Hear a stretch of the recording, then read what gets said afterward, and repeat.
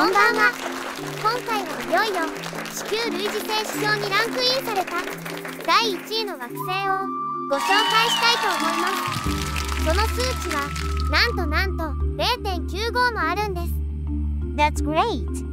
ほとんど100%に近い数値だね。なんて惑星なんだろう？どうせまた番号付けなんでしょ？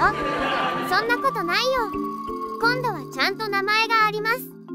その星の名はティーガーデン星です。Tea Garden Star 各カタログの名称としてこんな長い数字のものがついていたのね。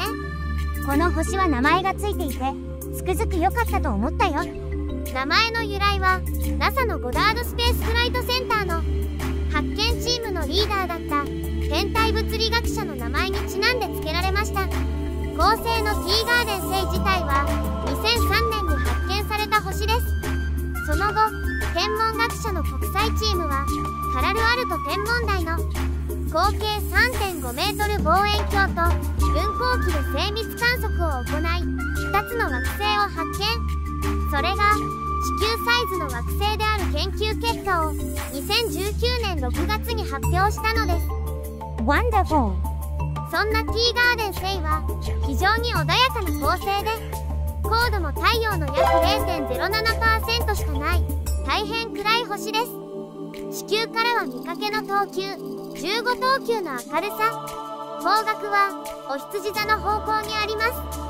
星そのものの固有運動が非常に大きくて7本の指に入るトップクラス。太陽系からは光の速さで12.5光年かかる距離にあります。それでは早速ティーガーデン星まで行ってみましょう。Okay, let's go!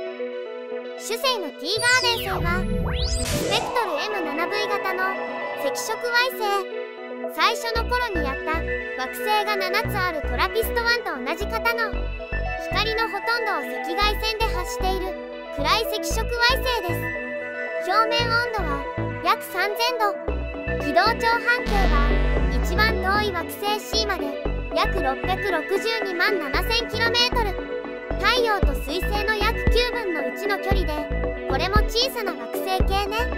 主星の恒星の直径は太陽の約10分の1の大きさで質量も太陽の約9%しかありません。太陽系の10分の1のミニチュアサイズレベルだね。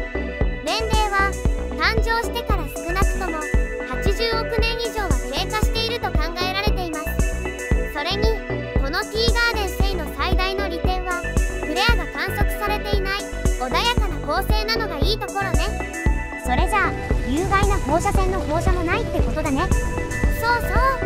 多くの赤色矮星は頻繁にフレアを起こす先行星で強力で危険なフレアは有害な放射線を浴びせるとともに惑星から大気を奪うことさえあります。ティーガーデン星はそのフレアがほとんど観測されていないので生命が継続して進化するのに適した環境をもたらします。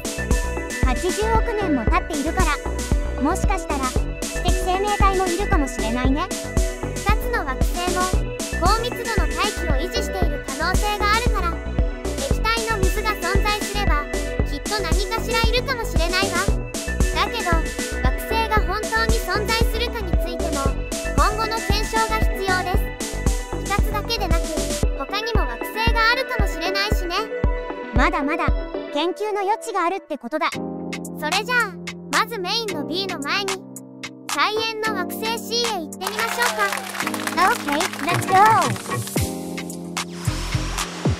一番外側を回る惑星ティーガーデン C は約11.4日の周期で公転していて ESI は0.68から0.85と低いもののハビタブルゾーンに位置していて濃い大気を維持し続けると予想されています直径質量ともに地球の1.1倍とほとんど地球に近い大きさね。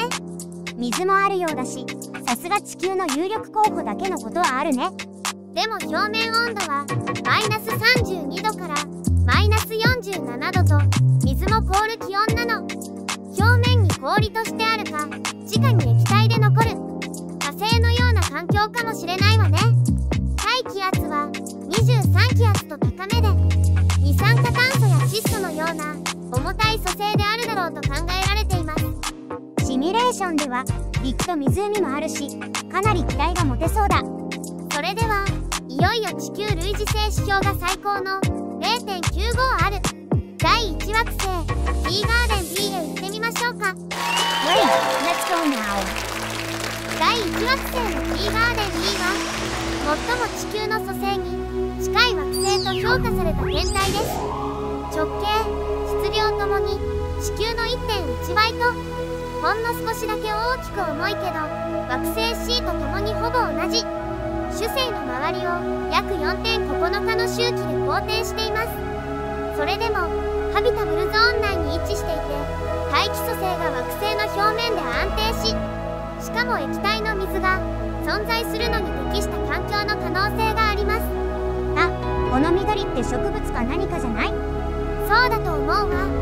惑星 B の表面温度は0から50度の範囲で平均28度前後という温暖な気候だろうと考えられます。ちょっと暑い。夏の日本のような気温だね。例えば ESI 評価が0.88のケプラー 438b は主星のフレアが活発なため住むことが困難ですがこの T ガーデン星は穏やかで今までにフレアが観測されたことはありません。そのことからも潜在的に居住可能な惑星とされています。2020年4月の時点で T ガーデン星 B は4番目に地球に近い潜在的に居住可能な太陽系外惑星となりました。すでに見知らぬ知的生命体が住んでいるかもしれません。今後の研究結果が本当に楽しみだよ。最後に T ガーデン星から私たちの太陽系を見ると興味深い位置関係にあることがわかります。あちょうど光天年を真横から見ているんだ。そうなの。西暦2044年から2496年までのおよそ450年間 T ガーデン星から太陽系を見ると太陽の手前を地球が横切るトランジット現象を観測することができますもし T ガーデンの惑星に文明社会があったら誰かが地球を発見しているかもしれないね。そうしたらその知的生命体と友人になれると思う。そうなると嬉しいな。とある作者の言葉にこんな言葉があります。There is no such thing as a stranger. It's just a friend you haven't met yet. 見知らぬ人などというのはいない。それはただまだ会っていない友人なのだからそれでは今回はこの辺で Let's meet again next time Bye Bye bye